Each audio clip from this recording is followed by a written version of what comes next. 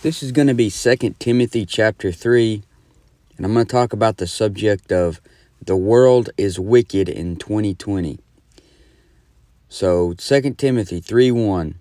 This know also that in the last days perilous times shall come. So, here those last days sure do seem to match the days that we're in today. It says perilous times shall come. And perilous means dangerous. It's dangerous to do anything anymore. You can't ride an elevator without thinking the guy next to you might try to rob you before you get off. Uh, you can't shop at Walmart without thinking the man next to you is going to snatch up your kid. It's dangerous times because people are full of the devil. And in this chapter, I'm going to show you some characteristics of men how in the last days. How do they act in the last days? So 2 Timothy 3 2. Let's look at the first one. For men shall be lovers of their own selves. So that's the first one. The first characteristic of a person in the last days is they love their own self. When speaking of the end times, Jesus said this in Matthew 24 12. He says, And because iniquity shall abound, the love of many shall wax cold. So I believe this what Jesus is referring to is the tribulation, and what Paul is referring to in 2 Timothy 3 is the last days of the church age. But still, the last days of the church age are leading right into that time period that Jesus is referring to. So you can already see it starting now how people are already lacking in the love department. So even though we aren't in the beginning of sorrows or the time of the great tribulation, Neither one of those time periods are we in. You can still see the love of many is already beginning to wax cold. Men only love themselves today. And you can't tell me a man loves children when he's a perverted, sick piece of trash who lusts after children. You can't tell me someone loves children if they're ripping a baby out of the mother's womb. You can't tell me a man loves his fellow man when he kisses another man in the mouth. That's a perversion of how God wanted it to be. God wanted it to be male and female. But a man loves his own self. He's going to do what he wants to do. When God said, love your brother, I don't think he meant the way you're taking it. Uh, parents are pretty much worthless today. They still act like teenagers. Uh, the women today teach their daughters to be whores and to listen to filthy country music and rap music. They listen to these things in front of their daughter. And most dads today are deadbeats who will not get their lazy carcass out of bed to go to work and provide for their family. We are living in a horrible generation that loves their self more than they do their kids, and that is unnatural affection. That is strange for a man and a woman to love themselves more than they love their kids. And it's just absence of love. They don't love anyone but themselves. So that's the first characteristic. Men are lovers of their own selves. What's the next one? Covetous. And to define this word, the best place to go is the Bible. Let's look at Exodus 20 and verse 17. It says, Thou shalt not covet thy neighbor's house, Thou shalt not covet thy neighbor's wife, nor his manservant, nor his maidservant, nor his ox, nor his ass, nor anything that is thy neighbor's. So you know why people are covetous. That is, wanting something so bad that isn't theirs. You know why they're covetous? Is because they aren't content with what the Lord has given them. 1 Timothy 6 8, and having food and raiment, let us be therewith content. In Hebrews 13:5 it says, "Let your conversation be without covetousness, and be content with such things as ye have, for he has said, I will never leave thee nor forsake thee." Philippians 4:11, "Not that I speak in respect of want, for I have learned in whatsoever state I am, therewith to be content." If you want to be happy, then learn to just deal with how your life is. Say, "This is my life. This is what God has given me." I can't change it. I just need to make the best of it. If you're saved, this life isn't all you have anyway. This isn't the same body you're going to have forever. This isn't the same life you'll live for eternity. Don't look at all the worldly junk around you because it just will not satisfy you. Proverbs 27:20 Hell and destruction are never full, so the eyes of men are never satisfied. You know why you're covetous? It's because you're unsatisfied with what God's given you. So why so much adultery today? People coveting their neighbor's wife. That's exactly why. Why so much theft? Because people are wanting what doesn't belong to them. They're covetous. When you're coveting, you're wanting to take and take and take. When you're loving, you want to give. But realize most of these goes back to the first one. Men are lovers of their own selves. Why are you coveting your neighbor's wife? Because you don't love your neighbor, you love yourself. Why are you taking from your neighbor? Because you don't love your neighbor, you love yourself. So you're coveting everything they have. Okay, back to 2 Timothy chapter 3 and verse 2. That next characteristic is boasting. And Proverbs 27 2 says, Let another man praise thee, and not thine own mouth, a stranger, and not thine own lips. Did you hear that? Take, for example, the rap music today. It's just a bunch of self glorification. Take, for example, professional sports. What do the sports stars do? They brag. All the idols of today are boasters. Men learn from what they see. And when you talk to someone, is the conversation about you and what you're doing or what the Lord is doing through you? Uh, really think for a minute about if you are bragging about your ministry when you talk to others. Most times people brag about the aspects of their life where they're lacking. They think they have to make up for it. And the bragging just shows that they love their own selves. And many times shows what they covet because they brag about the area of the life where they are lacking. They're bragging about the area of the life of their life that they would change. So don't be a bragger. Let another man praise thee. Why do men brag? Because they love their own self. But the next word in 2 Timothy 3 2 is proud. In Proverbs 16 18, pride goeth before destruction, and an haughty spirit before a fall. Being proud is something the Lord hates. Proverbs 6 16 through 17, These six things doth the Lord hate, yea, seven are abomination unto him. A proud look is the first one. If you want to see an example of someone who is proud, then when the NBA starts back up, pay close attention to NBA players walking to the locker rooms before the game. They have their expensive clothes on, they have their jewelry on. They think they're God's gift to the world. They are proud.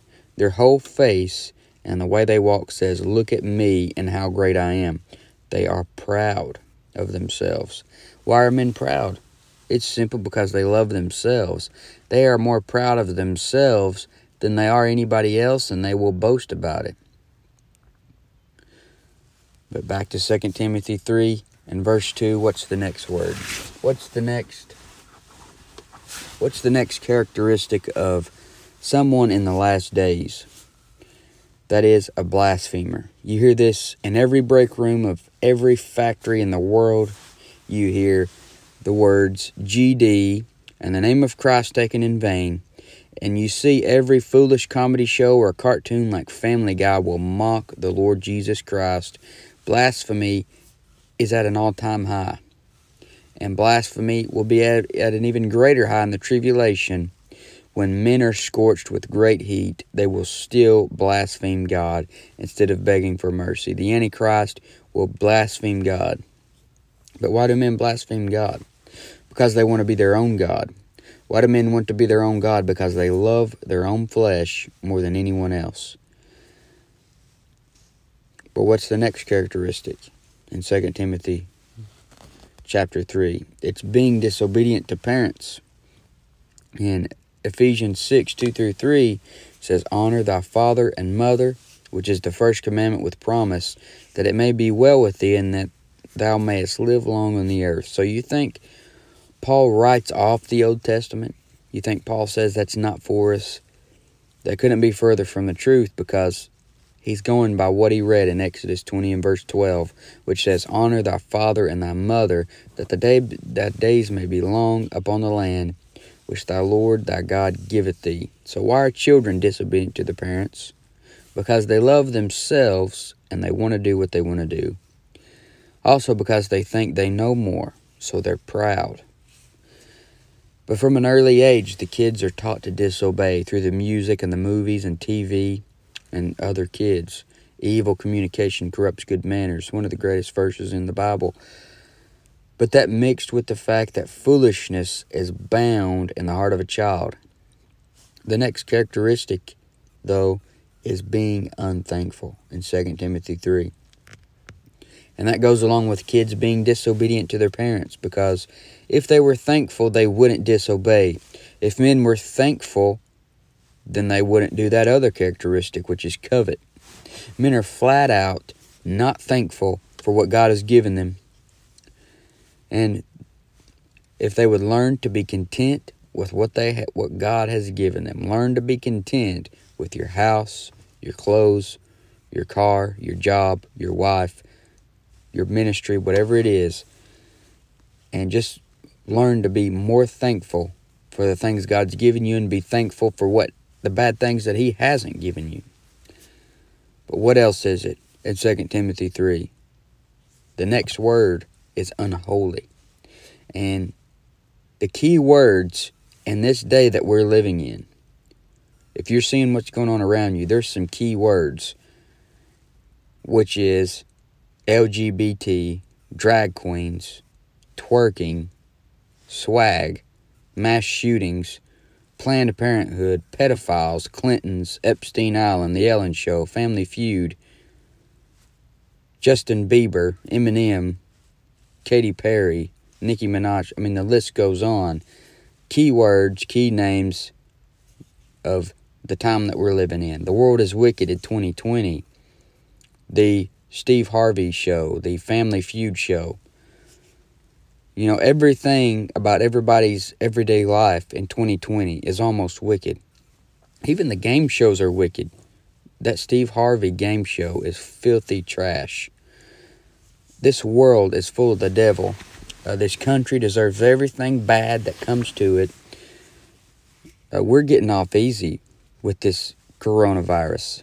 I mean, I, I wouldn't blame God if He wiped every single person out with the coronavirus. Because this country is sick. And the wicked shall be turned into hell, and all the nations that forget God, and America has forgotten God, and they are serving the devil and turning to all this sexual perverted stuff. But now back to 2 Timothy 3 and verse 3 without natural affection, truce breakers, false accusers, incontinent, fierce, despisers of those that are good. So, what's that first phrase? Without natural affection. A woman that doesn't want to take care of her baby, that's unnatural affection. A child that doesn't love his parents, that's unnatural affection. A man that wants to make out with another man, that's filthy, nasty, unnatural affection a woman wanting her baby's limbs to be ripped off is a disturbing and unnatural. The next word is truce breakers. When you have been at war or fighting with someone, you may come to an agreement to be at peace and say truce. But in the last days, you see truce breakers. And constant fighting, can't get along, even after someone telling them let's be at peace among ourselves. See this among Christians many times. You know, a lot of these this is among Christians these uh, these last days characteristics. They're acting just like a lost person. Next word, false accusers. Usually, when a preacher badmouths another preacher, it is nothing more than a long list of false accusations. Usually, when a Christian gossips about another Christian, it is truth, truth mixed in with false accusations. Many times, when somebody's trying to disprove another person's doctrine, but they don't have any Bible to disprove it, they just give a long list of false accusations, attacking the character of another person. And the uh, character of the person who's teaching that certain doctrine does not make the doctrine untrue if the doctrine is backed up by facts. But that's all you'll see many times is uh, somebody will make a video or a sermon will be titled such and such doctrine exposed and they'll just take a preacher who's done some bad things and they'll use his the preacher's character and talk about the bad things he's done to try to disprove a true Bible doctrine, which makes no sense. What does his personal life have to do with the truth if he really is speaking the truth? But next word is incontinent. That's someone that is unable to control their passions. And in a sick, perverted world filled with porn, what do you expect? What do you expect in a world filled with pornography everywhere you look on TV, on the front window of stores, and then you got women who walk around basically like whores. Christian women will dress up like a whore. They show their nakedness, they show everything they have. So, what do you expect in this wicked world of 2020? Next, you have the word fierce, violent. They're violent, easily enraged. They're fierce. Go to your son's room when he loses a game of Fortnite and watch his controller be thrown across the room. He's like that maniac of Gadara, exceeding fierce. Uh, next characteristic, despisers of those that are good. To explain that, a lot of people will hate me just right right now just because of what I've said so far. They're despisers of those that are good. And I'm not saying I'm good, but when I'm teaching the Bible, I'm represent trying to represent what's good. So they're going to hate what I'm saying.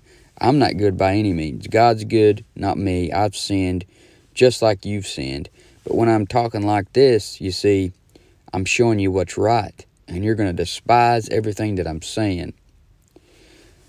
That's because you're bad, and I'm telling you the truth that you are a wicked person and you need to get your heart right. But people will hate you because you're not doing what they're doing. They're despisers of those that are good. And that's why you see a lot of Christians get under conviction when they see another Christian doing what they're supposed to do, and then they'll be mean to that Christian. That's how wicked this world is in 2020. A Christian being mean to another Christian because they're under conviction because that Christian is doing something and they ain't doing jack squat. Now, 2 Timothy 3 4 traitors, heady, high minded, lovers of pleasure more than lovers of God. Okay, that traitors, you know who is called a traitor in the Bible? Judas. He sold out Jesus Christ for 30 pieces of silver.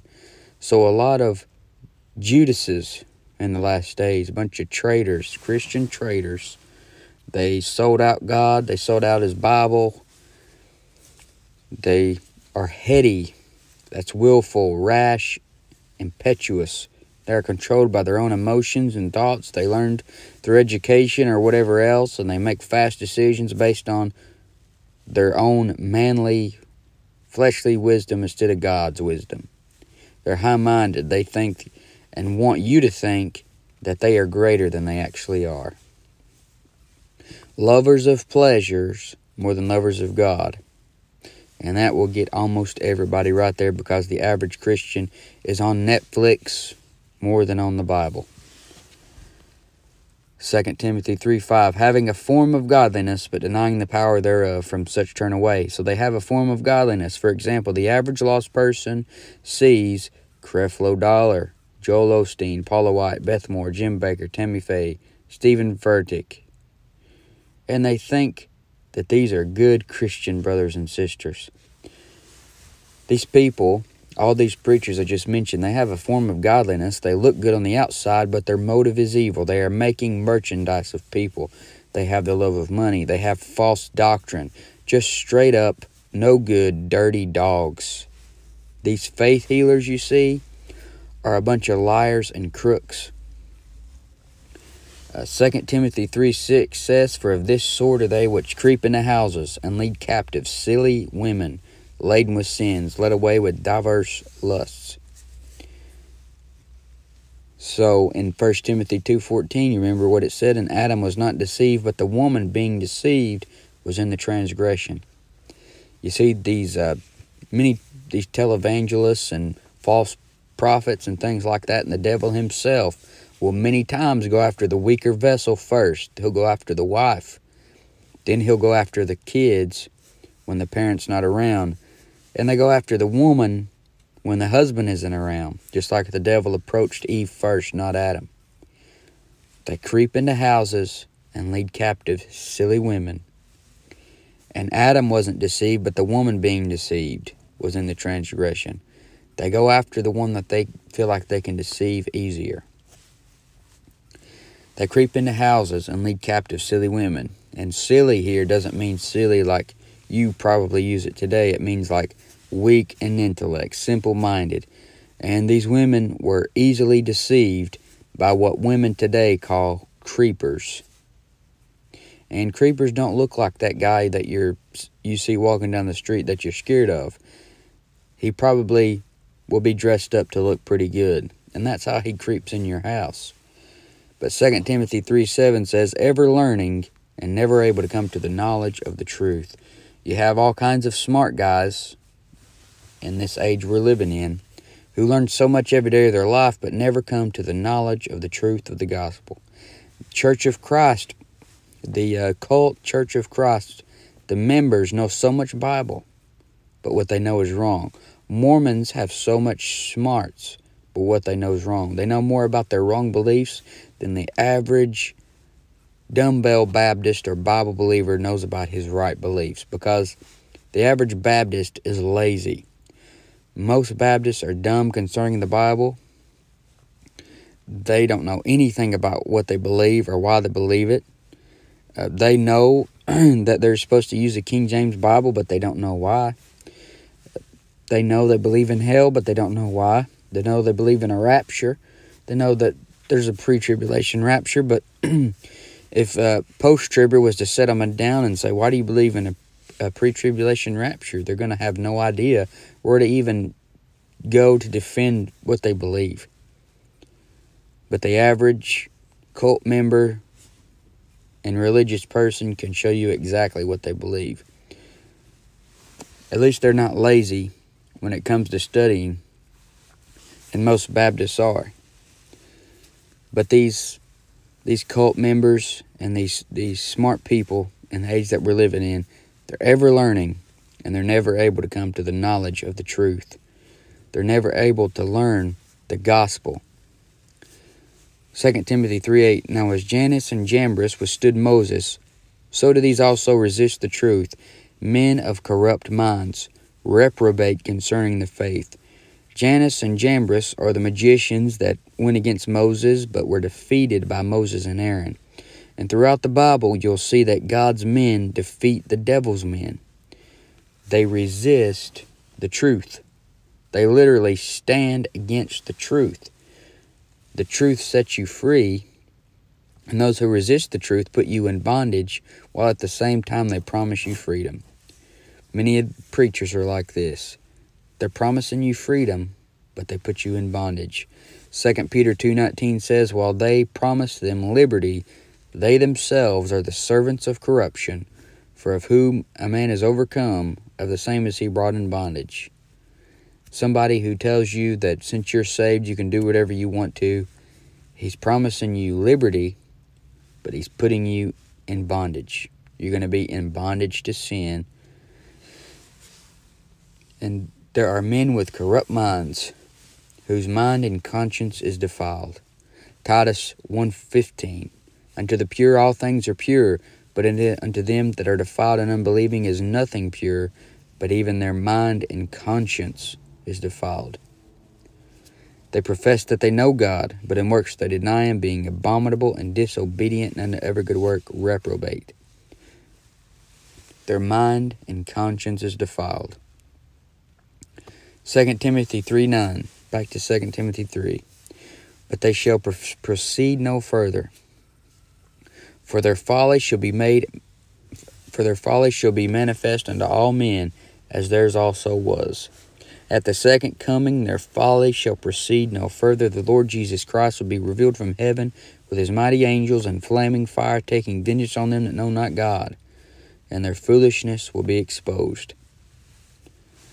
Verse 10 But thou hast fully known my doctrine, manner of life, purpose, faith, long suffering, charity, patience, persecutions, afflictions, which came unto me at Antioch, at Iconium, at Lystra, what persecutions I endured, but out of them all the Lord delivered me.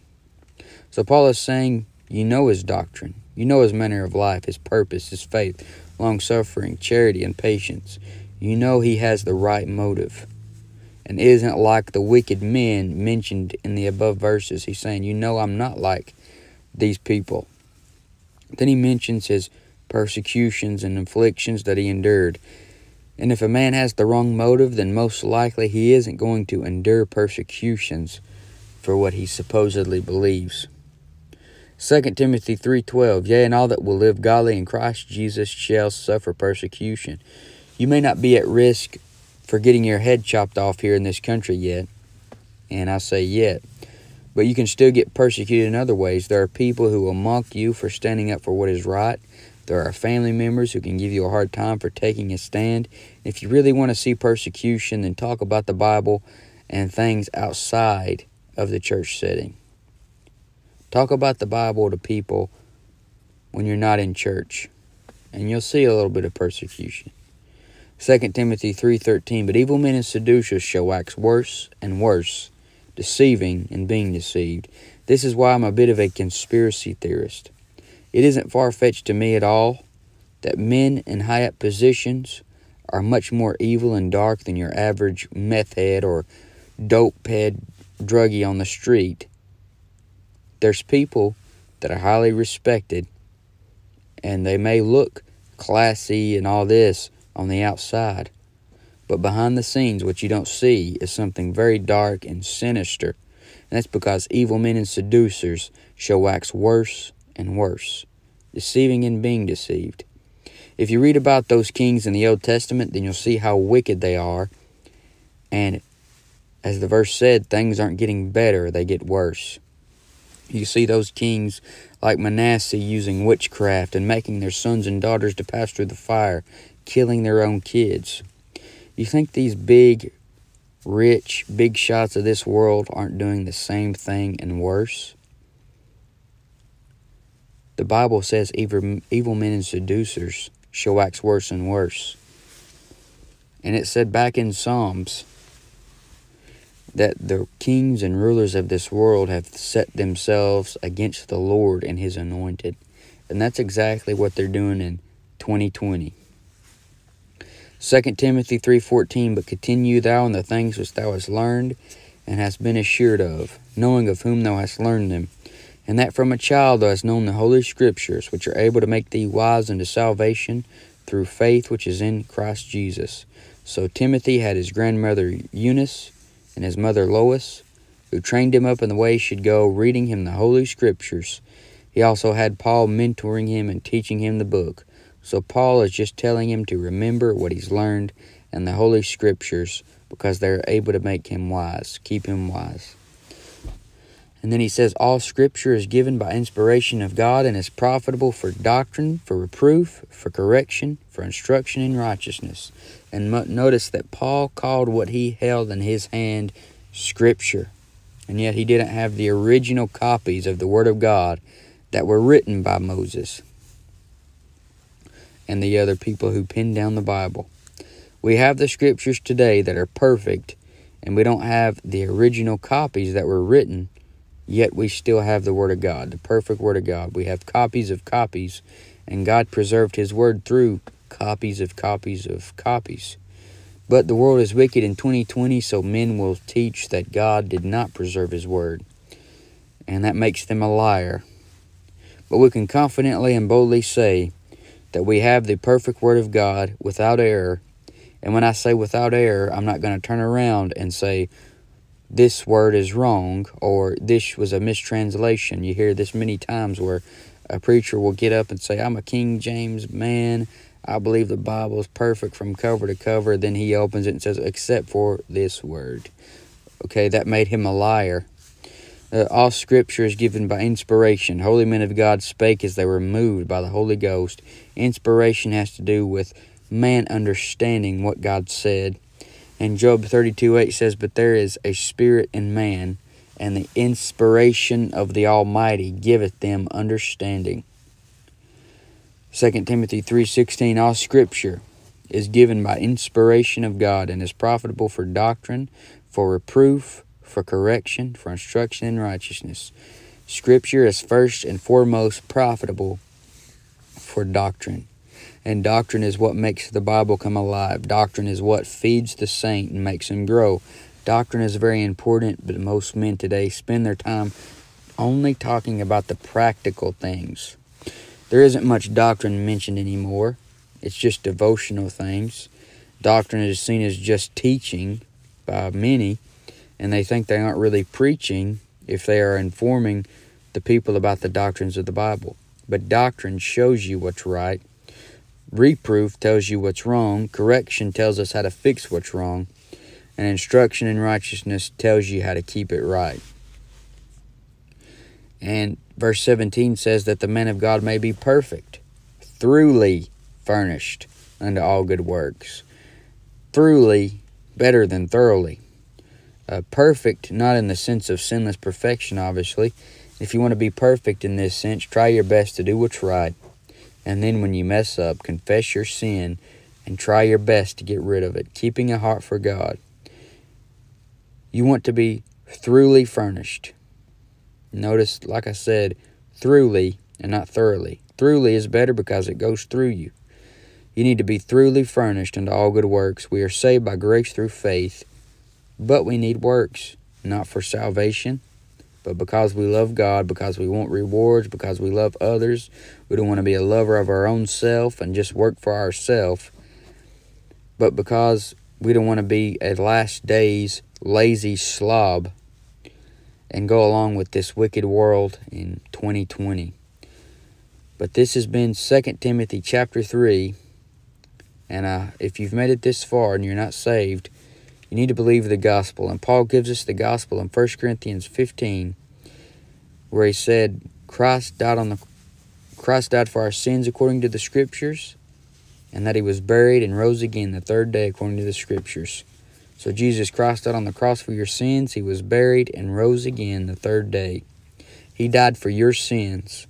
He died by shedding his blood, and he got up out of the grave, showing that he was God in the flesh he lived a sinless life because you couldn't live one. And if you'll come to Him as a guilty sinner and believe on Him, then you can be saved and have eternal life. So come to the Lord Jesus Christ today. Acts 16:31 says, "Believe on the Lord Jesus Christ, and thou shalt be saved." It says in Romans 10:13, "For whosoever shall call upon the name of the Lord shall be saved." And you need to do that because we are in the last days of the church age.